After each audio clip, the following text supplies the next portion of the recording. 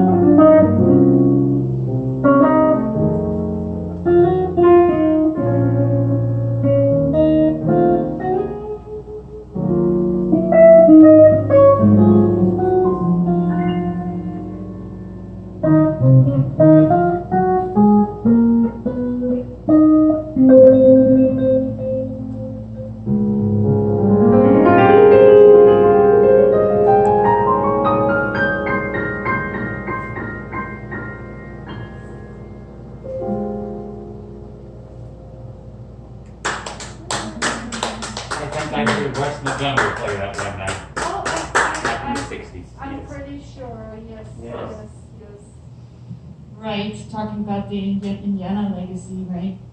Yes. So, so Wes Montgomery was definitely one of our, well, Indianapolis and that whole scene. Yes. Which was pretty amazing, you know, I, I wrote the book on David Baker and got to interview all these wonderful people. Am you? Yes. Yes. he who, uh, well, he not just founded jazz education at IU and everywhere else, but he grew up as part of that group on Indiana Avenue with Wes Montgomery and with Freddie Hubbard and J.J. Johnson and, you know, everybody else.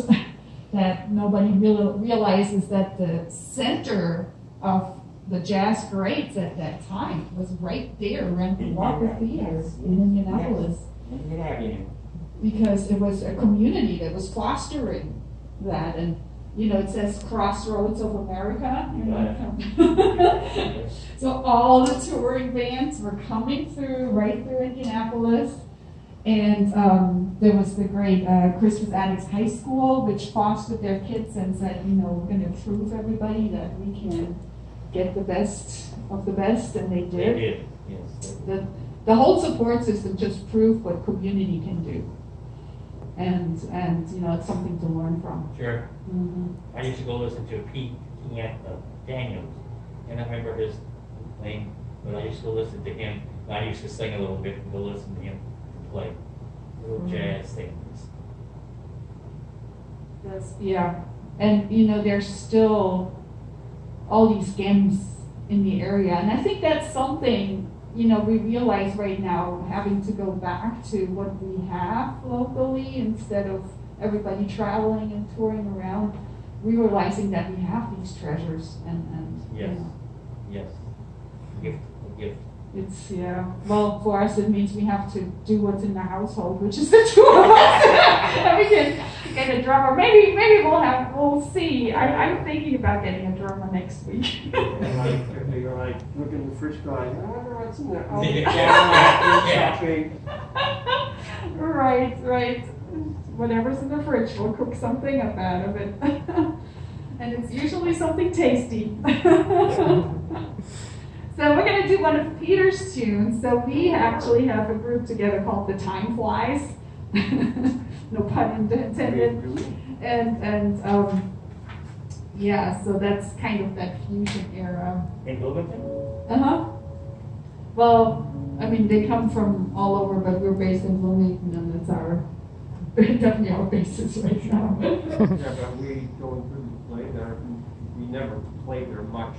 well, yeah, you always have to spread yourself, but now we can do it for the whole world. Thank you. So, thank you. so this is one from um, our Time Flies um, release. It's called String Punk.